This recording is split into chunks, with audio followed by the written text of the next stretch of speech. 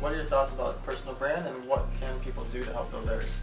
Uh, I think it's the most important thing like of all time. And I think a lot of people think that building a personal brand, like everything has to be perfect. I get so many DMs whenever I talk about personal branding. But Josh, I don't have a fucking GTR. I don't have a Lambo. I don't live in a mansion. I don't travel all the time. Like I literally like I just work and I sit on my laptop all day. And I'm like, well, cool. So start talking about your story because somebody else is gonna resonate with that. There's people who are just getting started, and there's people that are you know successful pros. Now the successful pros, they show the personal brand online, they show the lifestyle, they show their success, and the people who have made nothing, they don't really show shit. The real solution though is everybody is somewhere in the middle. Everybody's on a bridge. There's like somebody's on their journey to try to become that successful person they want to become, but nobody shows that bridge.